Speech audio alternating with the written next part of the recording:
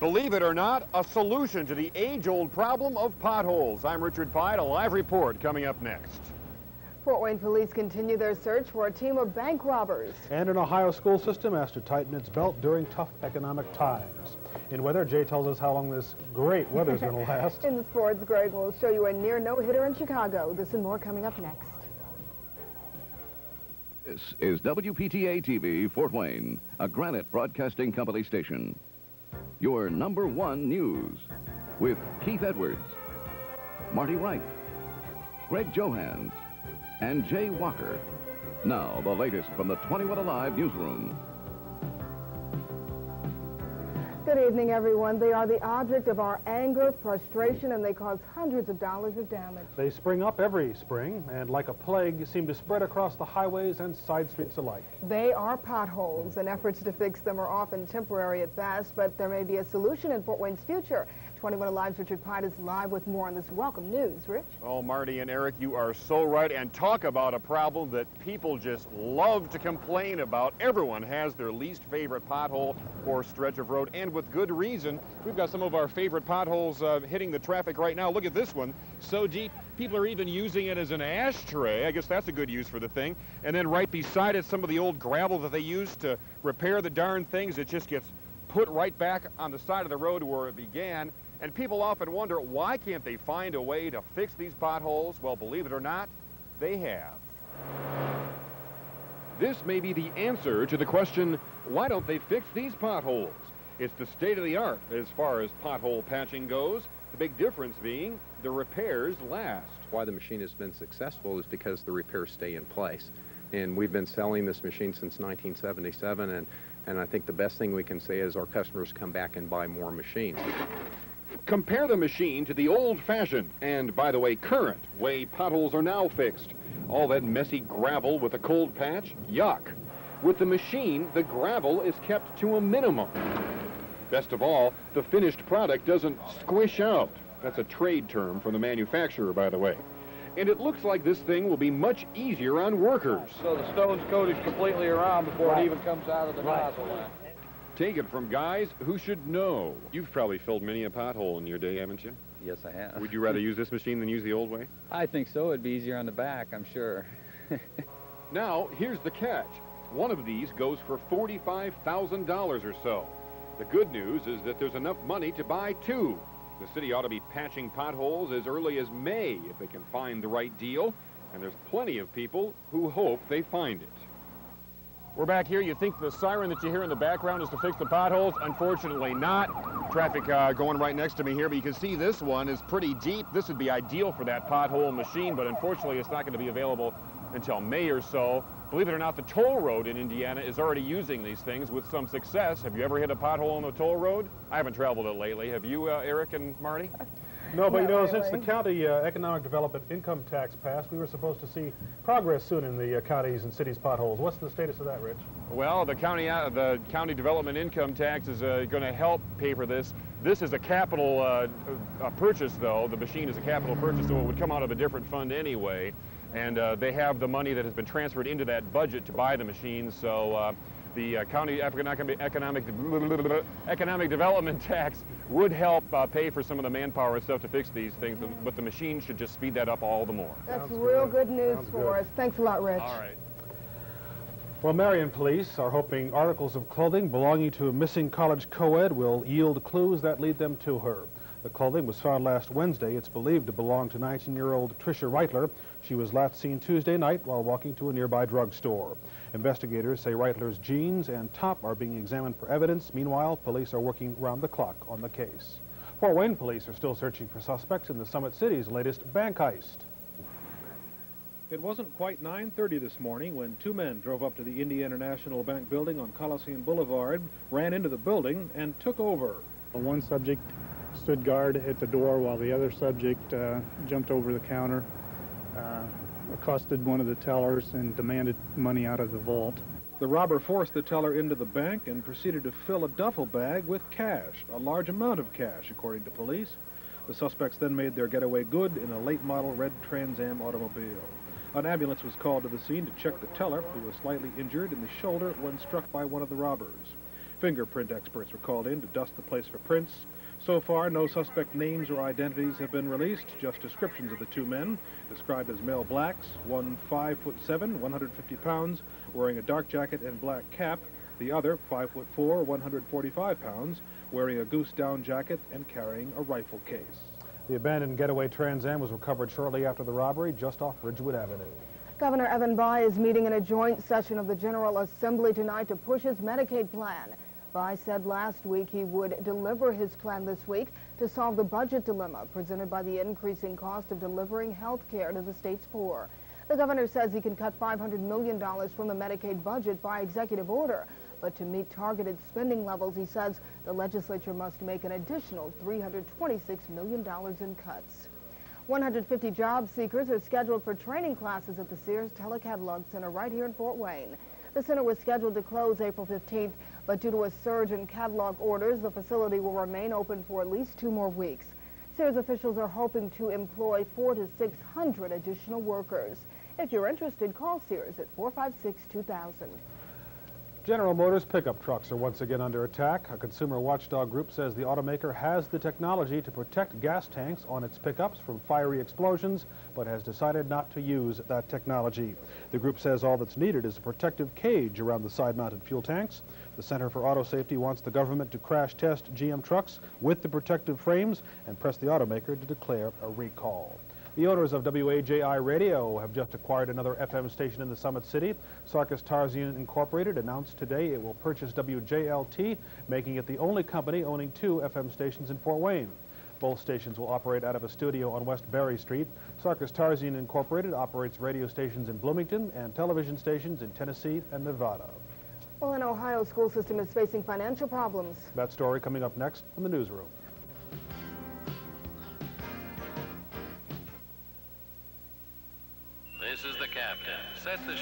Course at 180. Speed We're free to pursue life's simple pleasures because they're out here guaranteeing that freedom. The Navy, out here today, safeguarding your tomorrow. A little common sense can make a job easier and safer. This long-handled shovel can help prevent back strain. Piling the dirt on a tarp will protect your lawn. And a phone call can help protect you from digging into an underground power line, at home or at work. Call for help in locating power lines before you dig. Touching one of these lines with anything could result in serious or fatal injury. Please be careful, because they haven't made a shovel yet that can do this. Call before you dig.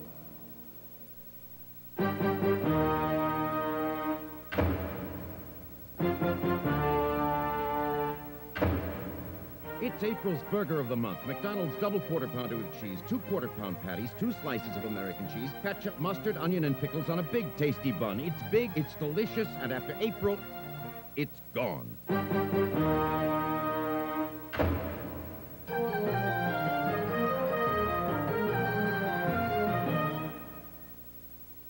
Performax from Pennzoil. New synthetic motor oil with Pennzoil's exclusive star molecule.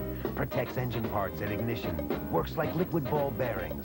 Hangs tough during the most extreme driving conditions. Flows in severe cold. Performax from Pennzoil. Keeps its cool in extreme heat.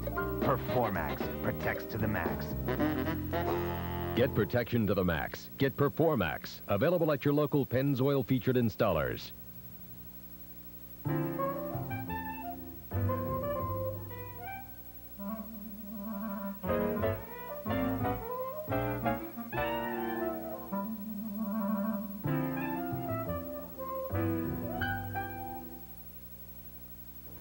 Parkway Local School District is in crisis. School officials will have to make cuts in 23 areas next school year if district residents vote down a levy on May 4th. 21 Alive's Elizabeth Melf reports the school district is facing cuts in programs, classes, and extracurricular activities.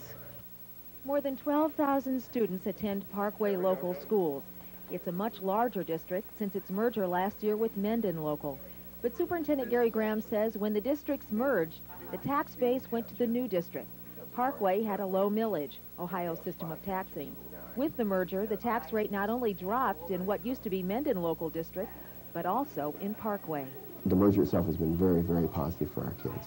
And looking down the road, we think we'll be in much better shape. Uh, these first couple years, we realize it's going to be very, very tight. Parkway local teachers did not receive a raise this year, but next year, if residents vote down the levy, any teacher whose position is vacated due to retirement will not be replaced. That's one of 23 cuts.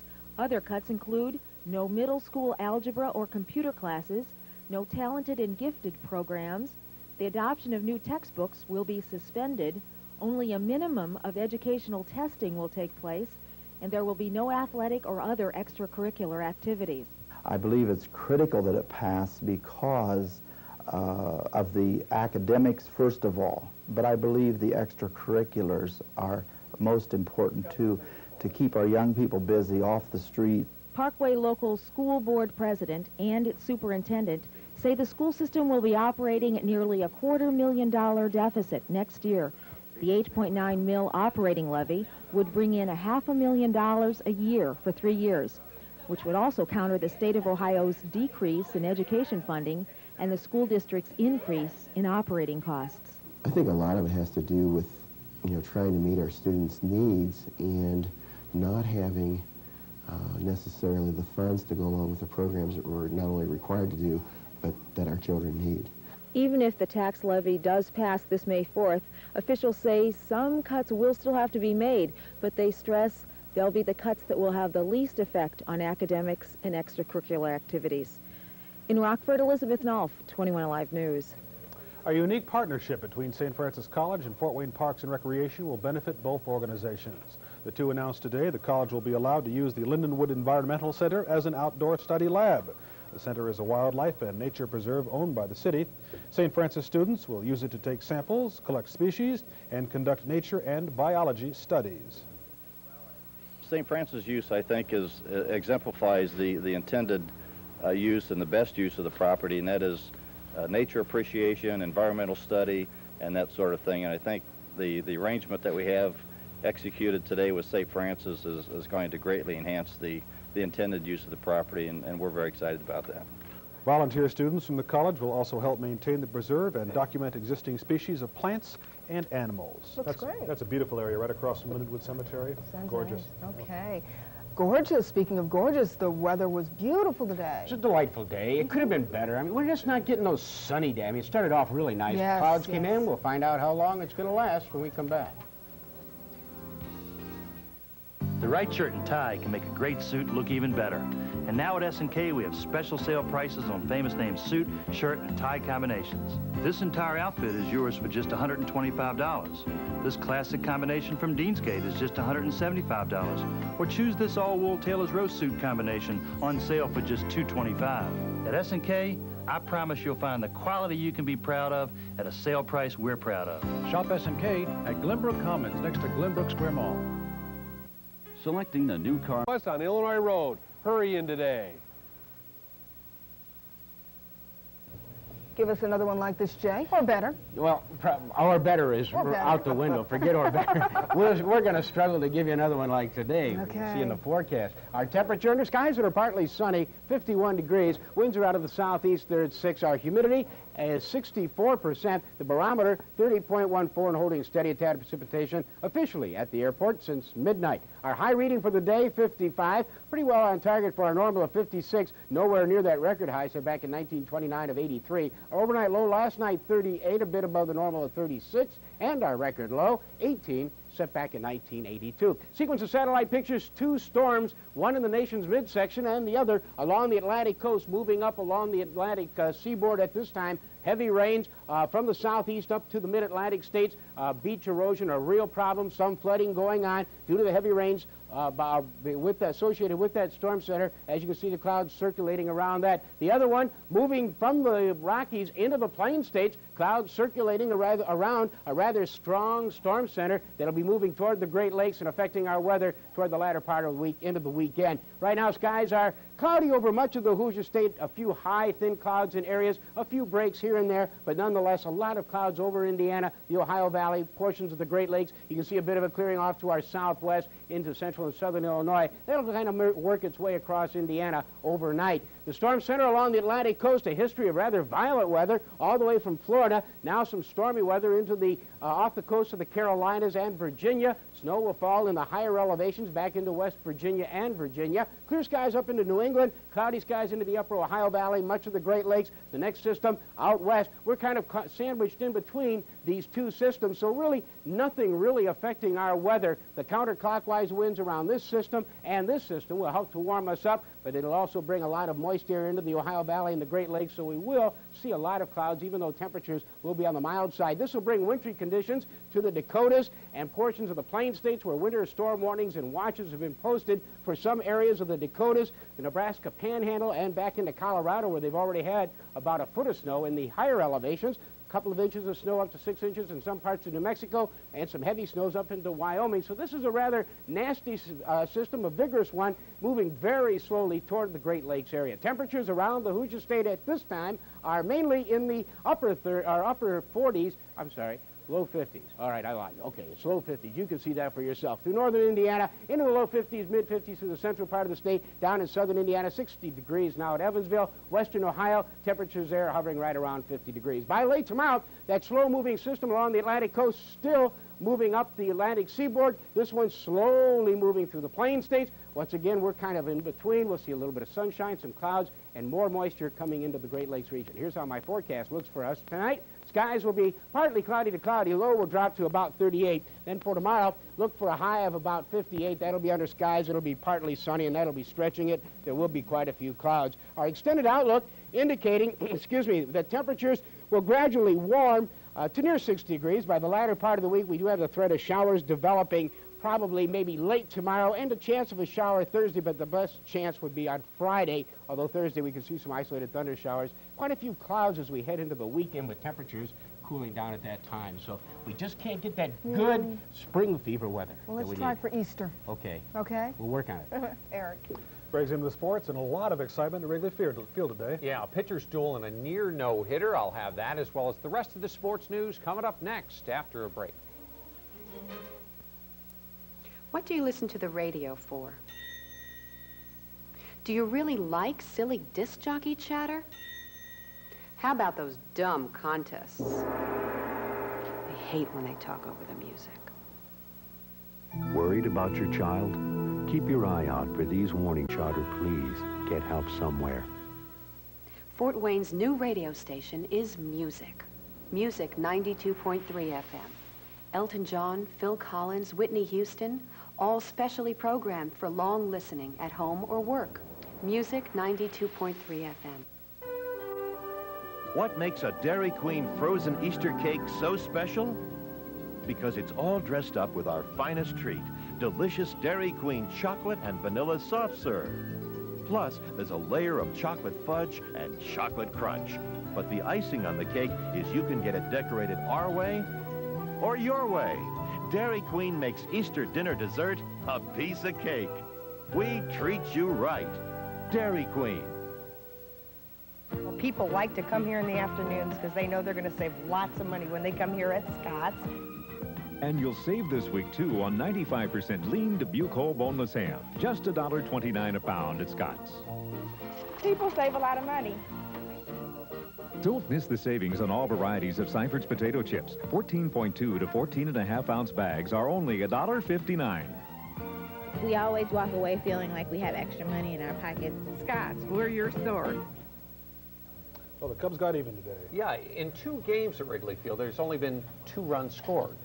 so that's a hitter's ballpark, too. Yesterday, Greg Maddux and the Atlanta Braves shut out the Chicago Cubs 1 to nothing.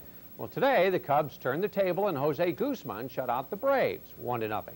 Well, just as the Braves did yesterday, the Cubs score their only run in the first inning. Mark Grace, a base hit through the right side for a 1 to nothing lead. Cub pitcher Jose Guzman makes it hold up. He has a no-hitter with two outs in the ninth inning. One more out to go, but Otis Nixon breaks up the no-hitter with a line shot to left.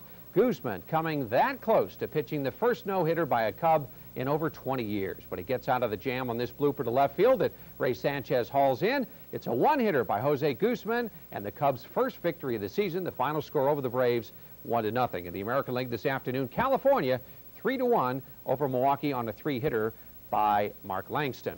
Late last night, the Oakland A's pounded the Detroit Tigers 9-4. The Tigers take the lead in the second inning when Mickey Tettleton clobbers one over the wall in right field for a 1-0 Tiger advantage. But the A's tie it in the third when Ruben Sierra smashes one past Cecil Fielder at first base. That drives in a run. In the fifth, down two to one, Oakland ties it again. This time, Rickey Henderson with a double down the left field line. Later on in the inning, Troy Neel pops a two-run homer to right. Eric Fox hits a grand slam later on in the eighth, and Bob Welch gets win number 200 on his career as Oakland wins at 9 to 4. The playoff dates for the series between the Comets and the Cleveland Lumberjacks have been released. The Comets will open their series at home Friday night, April 16th at 8 o'clock. The second game will also be at the Coliseum on Sunday, April 18th at 6 o'clock. Now, playoff tickets to the general public go on sale this Saturday at noon at the Coliseum ticket office and all Ticketmaster outlets. IPFW's volleyball team has moved up in the latest national rankings. The Dons, last week number 10 in the country, are now number 7. They have a record of 20 and 6. The Green Bay Packers say they've come to an agreement with free agent defensive end Reggie White. The seven-time All-Pro with Philadelphia had talked with many teams before narrowing his list down to three, the Packers, San Francisco, and Washington. The Packers offer is said to be worth for uh, $17 million over four years. Miami of Ohio basketball coach Joby Wright has taken over the head coaching job at the University of Wyoming. Wright, of course, was a player and assistant coach for 10 years under Bob Knight at IU. In his three years at Miami of Ohio, Wright's teams won 66% of its games. Michigan basketball fans are having a tough time accepting last night's loss to North Carolina in the NCAA championship game, especially when a mental mistake cost them the game. Michigan looks strong in the first half of play. The Wolverines kick it out to Rob Pelinka, who hits the three-pointer. Michigan leads by 10 at halftime. This time, Pelinka drives, misses the shot, but Chris Webber scores, gets fouled, a three-point play. Back comes North Carolina. The Tar Heels make up the difference, and they take a six-point lead at halftime. They get 25 points from Donald Williams. He drills this one from way out. Eric Montross helps Carolina take a two-point lead with time running out. Then Chris Webber calls a timeout, even though Michigan has none left. A technical foul. North Carolina hits two free throws to put the game out of reach, and no one felt worse about the mistake than Chris Webber. Just called a timeout. We didn't have one. That probably cost us the game. Truthfully, I really, you know, I really don't remember all the situations. All I know is that uh, obviously I, I didn't, I didn't, I don't think I saw anybody that was open. Then the count was on. I just did not know we had a timeout. If it was someone else to pass it to, I would have passed it to them. I don't remember. Maybe someone was open. I don't know. Well, it sounded like the whole bench was saying, call timeout, call timeout. I think the, everybody in the stands was calling timeout too, so it came pretty much from everywhere at that point. Now the big question is, will Chris Webber put this play behind him and turn pro? He's projected to be a top five pick. Or will he help the Wolverines try for another run at the NCAA title? Time will tell. Tonight's stumper, what is Chris Webber's real first name? His real first name? The answer in just a minute. I didn't know you can be penalized for that, but he must feel awful Oh. about that. Gosh. but, you know, he, he's going to have to put it behind him. Right. Top five draft pick, would you go pro? Multi-million dollar contract in front of your nose? Yes. You're yeah, out of I think so. yeah. Okay. Speaking of money, on Wall Street today, the stock market finished a little lower. The Dow Jones Industrials lost more than a point in heavy trading. 291 million shares changed hands. What do you get when you take away the tires, the chainsaws, the drain pipes? You get Spartan Stores. You get all your grocery needs, you get in and out in a hurry, and savings like these. Gold medal regular or unbleached flour, 79 cents. Folgers ground coffee, 3.19. Parkay margarine, 39 cents. And Eckrich smoked or Polish sausage, $1.67 per pound. Spartan Stores, the fresh food people. How do my glasses feel when I put them on in the morning? Um, but that's nothing compared to the afternoon. Uh, by evening, that's close. Now, get free frames when you purchase New Vision's exclusive weightless or thin light lenses, or any other New Vision special feature lens. I feel like the weight of the world's been lifted off my nose. Free frames with the purchase of New Vision special feature lenses.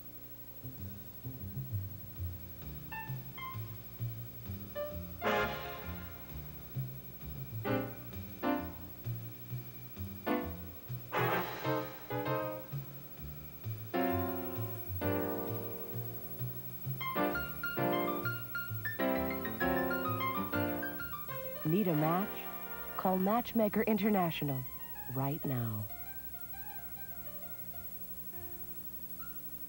It offers features like anti-lock brakes, traction control, touring suspension, and dual airbags. But if all that doesn't move you, perhaps its 214 horsepower engine will. The award-winning Eagle Vision TSI. Buy or lease one at your dealer today. See your local Jeep and Eagle dealer. Here's a look at some of the stories we're working to bring you tonight at 10. She came to this country as an exchange student, but now she can't return to her native land due to the war in Yugoslavia. We'll have her story later tonight, and the standoff continues in Waco. All those stories at 10. What's on tap for tonight, Jay? For tonight, we'll look for our low to drop to 38. Tomorrow, partly sunny skies with a high of 58. All right, Jay, tonight's stumper answer, Chris Webber's real name is Mayce. That's his real first name. By the way, the Comet playoff dates the 16th and 18th of April. Hmm, okay. Important dates. That's the latest from your news leader. We thank you for joining us. And we're back tonight at 10 with the latest news, weather, and sports. Join the newsroom after home front. Have a good evening.